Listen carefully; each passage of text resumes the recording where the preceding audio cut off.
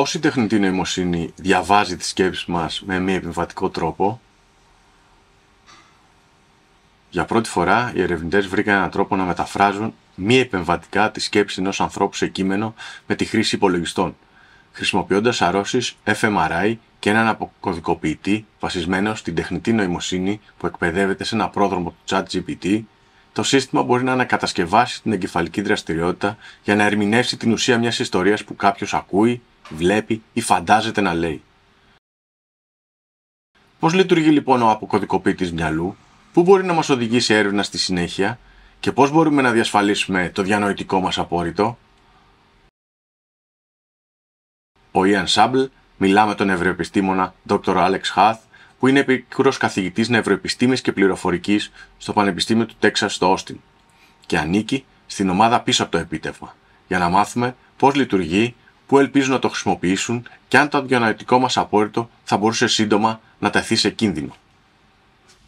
Άλεξ, εσύ και η ομάδα σου μόλις κάνετε κάτι πολύ συναρπαστικό. Κατασκευάσατε ένα αποκωδικοποιητή μυαλού με την τεχνητή νοημοσύνη. Πες μας λίγα λόγια για το τι είναι αυτό και τι κάνει. Δημιουργήσαμε ένα σύστημα που δέχεται εγκεφαλικές αρρώσεις και διαβάζει τις λέξεις που κάποιος ακούει ή σκέφτεται. Καταγράφουμε την εγκεφαλική δραστηριότητα των ανθρώπων χρησιμοποιώντας λειτουργική απεικόνηση μαγνητικού συντονισμού, fMRI, και στη συνέχεια χρησιμοποιούμε κάποιους αλγόριθμους που έχουμε αναπτύξει και εκπαιδεύσει με πολλά δεδομένα για να διαβάσουμε τις λέξεις που ακούει ο άνθρωπος ή τις λέξεις που έχει στο μυαλό του. Αν προσπαθεί να σκεφτεί μια ιστορία χωρίς να κουνεί το στόμα του, μπορούμε να διαβάσουμε εν μέρη αυτό που προσπαθεί να σκεφτεί.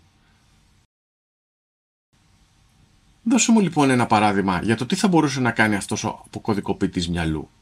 Αν σκεφτόμουν για παράδειγμα την πρόταση, το αντίφωνο είναι μια καλή σελίδα τι θα μπορούσε να βγάλει ο αποκωδικοποιητής σας; Είναι ενδιαφέρον ότι ο αποκωδικοποιητής δεν καταλαβαίνει κάθε λέξη. Η μαγνητική τομογραφία είναι πολύ αργή και δίνει πολύ πρόχειρα κακατάστατα σήματα.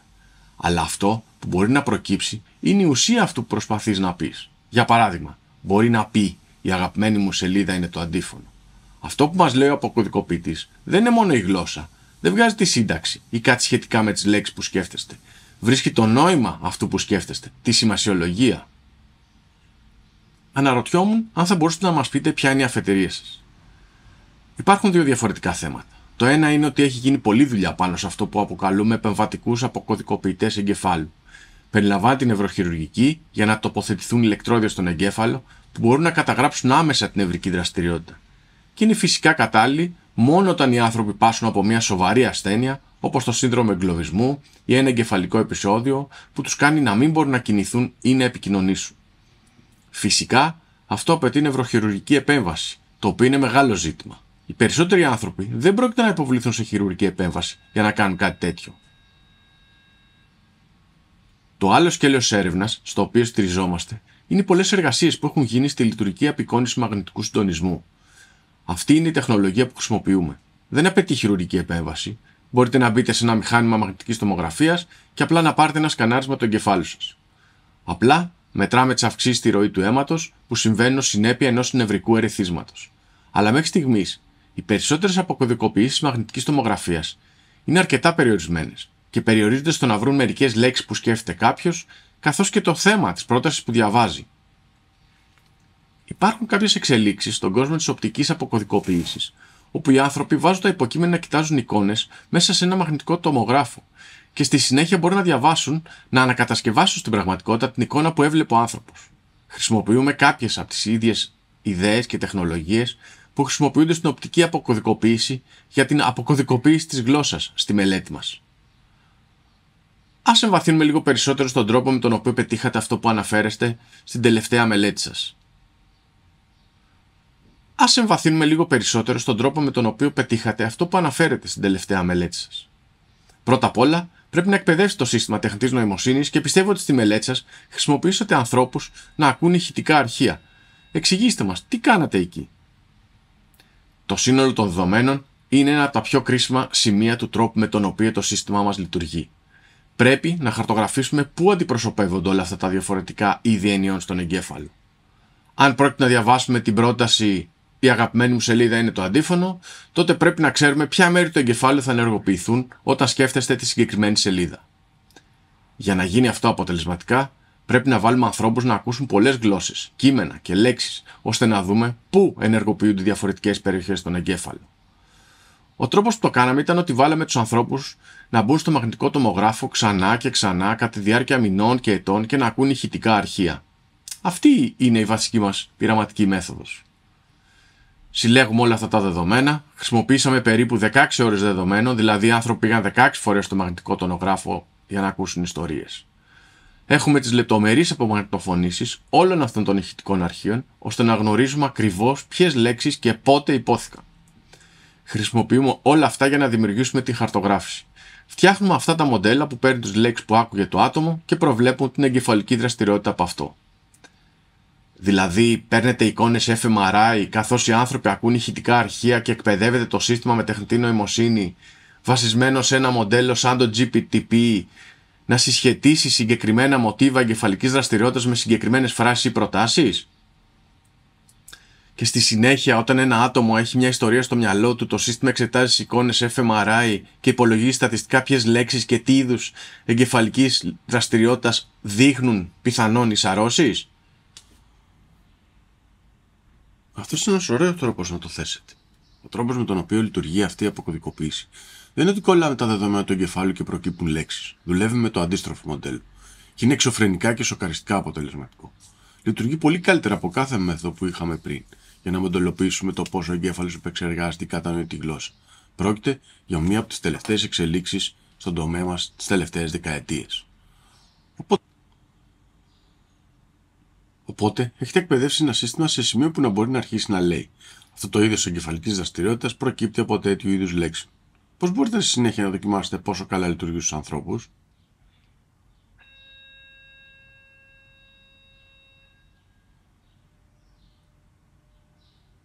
Το δοκιμάσαμε με μερικούς διαφορετικούς τρόπους.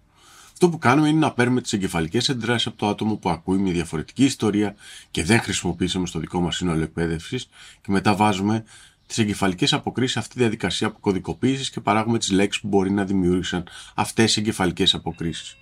Έτσι μπορούμε να τις συγκρίνουμε με τις πραγματικές λέξεις της ιστορίας που άκουσε το άτομο. Οπότε μπορούμε να πούμε πόσο ακριβής ήταν αυτή η αποκωδικοποίηση. Αυτό λοιπόν ήταν το πρώτο βήμα. Και αυτό ήταν το πρώτο πράγμα που λειτουργήσε και ήταν πολύ συναρπαστικό. Φυσικά δεν είναι τρομερά ακριβές και δεν μας δίνει κάθε λέξη που άκουσε το άτομο αλλά μας δίνει αυτό το περίεργο είδος παράφρασης του τι έλεγε το άτομο. Τι προσπαθείτε να κάνετε με την βοβή ταινία; Ναι, ήταν μια ιδέα από άλλο πεδίο έρευνας. Στην πραγματικότητα ήταν ένα τεστ για το είδος των πληροφοριών που παίρνουμε με αυτόν τον αποκωδικοποιητή. Εκπαιδεύτηκε με ανθρώπους που άκουγαν ιστορίες και υπάρχουν πολλές διαφορετικές γλωσσικές δομές και πολλά συντακτικά στοιχεία ιστορίες που ακούν οι άνθρωποι. Οπότε θέλαμε να μάθουμε αν ο αποκωδικοποιητής μας καταφέρει να βρει τα πρωταρχικά στοιχεία της γλώσσας. Ή μήπως καταλαβαίνουμε κάτι πραγματικά σε ανώτερο επίπεδο, όπως ποια είναι η ιδέα.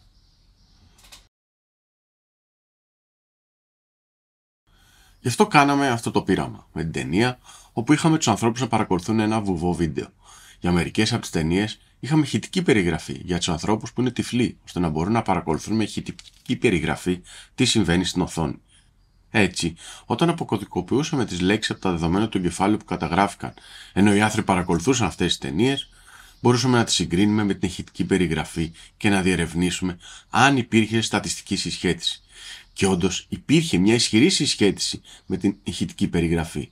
Ο αποκωδικοποιητής περιγράφει πραγματικά γεγονότα που συνέβησαν στην ταινία. Και νομίζω ότι αυτό σημαίνει ότι καταλήγει σε κάτι το οποίο είναι πολύ βαθύ.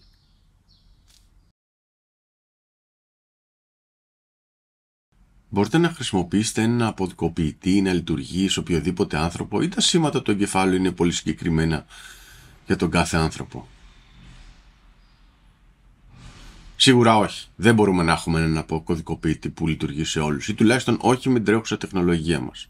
Το σκεφτήκαμε πολύ αυτό γιατί φυσικά όλο αυτό το θέμα είναι κάπως ανατριχιαστικό. Στην πραγματικότητα διαβάζουμε τις σκέψεις από το μυαλό κάποιου, το οποίο νομίζω ότι ξεπερνάει τα όρια και πολλοί άνθρωποι ανησυχούν. Το άλλο ζήτημα που προκύπτει με την προστασία της διανοητικής μας ζωής νομίζω ότι είναι πραγματικά ενδιαφέρον. Αν υποθέσουμε ότι έχετε ήδη αυτό το μοντέλο για ένα άτομο, μπορείτε να το εμπιστεύεστε πάντα σε αυτό που λέει; Μπορείτε να το δεχτείτε ως μια αληθινή ανάγνωση του τι συμβαίνει στο μυαλό ενός ατόμου. Για να διευρύνουμε πραγματικά τα όρια αυτού, βάλαμε τα άτομα να προσπαθήσουν να το κάνουν να μην λειτουργήσει. Να προσπαθήσουν να κάνουν άλλες σκέψεις. Να αντισταθούν στον αποκωδικοποιητή. Οπότε, σε αυτό το πείραμα, τους βάλαμε να ακούσουν μια μικρή ιστορία και ενώ άκουγαν την ιστορία, τους βάλαμε να κάνουν διάφορα πράγματα. Μαθηματικούς υπολογισμούς, να μετράνε ανάποδα, να ονομάσουν όσο περισσότερα ζώα μπορούν ή να προσπαθήσουν να αγνοήσουν την ιστορία και να πούν μια διαφορετική ιστορία μέσα στο μυαλό τους. Οι μαθηματικοί υπολογισμοί δεν ήταν τόσο αποτελεσματικοί στο να διαταράξουν τον αποκωδικοποιητή όσο ήταν το να κατονομάσουν ζώα ή το να λένε μια άλλη ιστορία.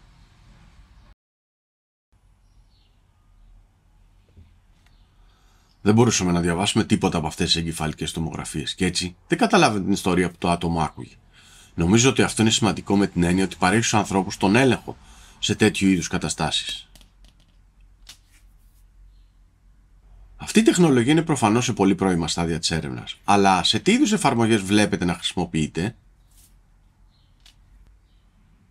θα θέλαμε να το δούμε να χρησιμοποιείται ως βοηθητική συσκευή. Υπάρχουν πολλοί άνθρωποι που έχουν χάσει την ικανότητα επικοινωνίας για διάφορους λόγους. Συχνά λόγω εγκεφαλικών επεισοδίων ή χειρουργικών επεμβάσεων στον εγκέφαλο για την αποκατάσταση άλλων πραγμάτων. Ποσόκι στον εγκέφαλο κλπ. Υπάρχουν πολλοί λόγοι για τους οποίους οι άνθρωποι μπορεί να έχουν βλάβει σε τμήματα του εγκεφάλου τους και δεν μπορούν να μιλούν. Αυτός είναι ένας τομέας όπου πιστεύουμε ότι θα μπορούσε πραγματικά να βοηθήσει και ίσως να βοηθήσει ανθρώπους χωρίς να χρειαστεί να υποβληθούν σε νευροχειρουργική επέμβαση. Οπότε πιστεύουμε ότι μάλλον πρέπει να κινηθούμε σε ένα διαφορετικό είδος απεικονιστικής τεχνολογίας του εγκεφάλου, το οποίο διερευνούμε αυτή τη στιγμή. Η τεχνολογία για την οποία είμαστε λίγο πιο ενθουσιασμένοι ονομάζεται λειτουργική φασματοσκοπία στο εγγύηση πέριθρο, η οποία λειτουργεί με παρόμοια αρχή με τον φωτοπληθυσματογράφο, τη μικρή συσκευή που βάζουν στο δάχτυλό σας στο νοσοκομείο για να μετρήσουν την οξυγόνωση του αίματός σας. Βασικά, φωτίζει διαφορετικά μήκη κύματος υπέρυθρου φωτός για να μετρήσει τη ροή του αίματος. Οπότε, το οξυγονωμένο και το αποξυγονωμένο αίμα είναι ελαφρώς διαφορετικά χρωματισμένα. Το ένα είναι πιο κόκκινο και το άλλο πιο μπλε. Και μπορείτε να το δείτε αυτό αν το φωτίσετε με ένα φως. Οπότε κάνουμε το ίδιο πράγμα, αλλά φωτίζοντας με φως μέσα από το κρανίο ενός ατόμου. Έτσι τα κρανία μας είναι στην πραγματικότητα κάπως διαφανή στο υπέρυθρο φως. Μπορείτε να τοποθετήσετε μερικά LED στο κεφάλι κάποιου, να φωτίσετε το φως και να μετρήσετε μια σειρά από σημεία. Και αυτό που μετράει στην πραγματικότητα είναι κάτι πολύ παρόμοιο με το σήμα της μαγνητικής τομογραφίας. Οπότε, στην πραγματικότητα, είναι το ίδιο σήμα οξυγόνωση του αίματος. Είμαστε κάπως αισιόδοξοι ότι η τεχνολογία μας θα μπορούσε να προσαρμοστεί καλά σε αυτό. Συνεργαζόμαστε με κάποιους ανθρώπους που είναι εμπειρογνώμονες σε αυτό το θέμα. Και αυτό είναι κάτι που, αν και δεν είναι καταναλωτική συσκευή σήμερα, θα υπάρχει δυνατότητα να το χρησιμοποιήσετε στο σπίτι σας μία μέρα. Οπότε, περάσαμε πολύ χρόνο σκεπτόμενοι τις επιπτώσεις για την ιδιωτικότητα αυτής της τεχνολογίας. Έτσι, προσπαθήσαμε να πάρουμε δεδομένα από ένα άτομο και να τα αντιστοιχίσουμε στον εγκέφαλο ενός άλλου ατόμου και τα αποτελέσματα ήταν απλώς αναξιόπιστα.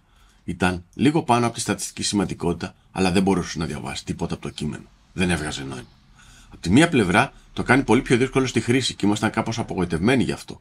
Αλλά από την άλλη πλευρά νομίζω ότι αυτό είναι ένα πραγματικά καλό νέο για λόγους προστασίας του διανοητικού απορρίτου μας.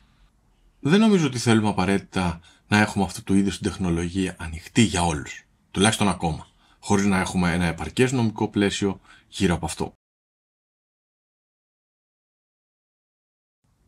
Μία από τις μεγάλες ειδήσεις ήταν η αποχώρηση του λεγόμενου νονού της τεχνητής νοημοσύνης Jeff Hinton από την Google και να προσχωρεί σε αυτούς που προειδοποιούν για τους κινδύνους της τεχνολογίας της τεχνητής νοημοσύνης.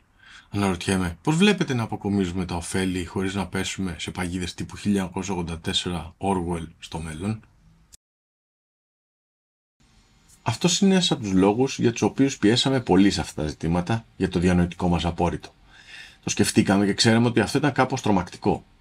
Έτσι, θέλαμε πραγματικά να θέσουμε το θέμα για το ποιες πληροφορίες είναι δημοσιεύσιμες και αν μπορούμε να πούμε στους ανθρώπους πότε αυτό δεν λειτουργεί και πώς μπορούν οι άνθρωποι να το κάνουν να μην δουλέψει. Με αυτόν τον τρόπο γίνεται πολύ λιγότερο χρήσιμος ως μέσο. Όπως για παράδειγμα ο πολύγραφος, ο τυπικός ανιχνευτής ψεύδου. Συγγνώμη, αλλά είναι βλακίες. Δεν δουλεύει. Είναι ψευδοεπιστήμη. Ο πολύγραφος είναι απολύτως ψευδοεπιστήμη. Λειτουργεί εν μέρει επειδή οι άνθρωποι πιστεύουν ότι δουλεύει και γίνονται νευρικοί. Οπότε δεν θέλουμε να εφαρμοστεί την τεχνολογία μας τέτοιου είδους κατάχρηση. Γι' αυτό λοιπόν προσπαθούμε να διαδώσουμε τι μπορεί και τι δεν μπορεί να κάνει. Αυτά τα όρια φυσικά δεν είναι παγιωμένα. Είπαμε ότι δεν μπορούμε να χαρτογραφήσουμε ένα μοντέλο από ένα άτομο σε ένα άλλο άτομο. Και δεν μπορούμε να διαβάσουμε το μυαλό του αν το άτομο προσπαθεί να μας εμποδίσει. Αλλά αυτά τα πράγματα δεν θα είναι απαραίτητα πάντα αληθινά. Γι' αυτό λοιπόν αναφέρομαι στη μελέτη μας ότι πιστεύουμε πως πρέπει να υπάρξει νομική προστασία της διανοητικής μας ζωής. Και πιστεύουμε ότι αυτό θα πρέπει να γίνει προληπτικά πριν προκύψει πραγματικά ένα πρόβλημα που να επηρεάζει ζωές των ανθρώπων, το οποίο ρεαλιστικά δεν περιμένουμε να συμβεί, αλλά χρειάζεται σκέψη πάνω σε αυτό.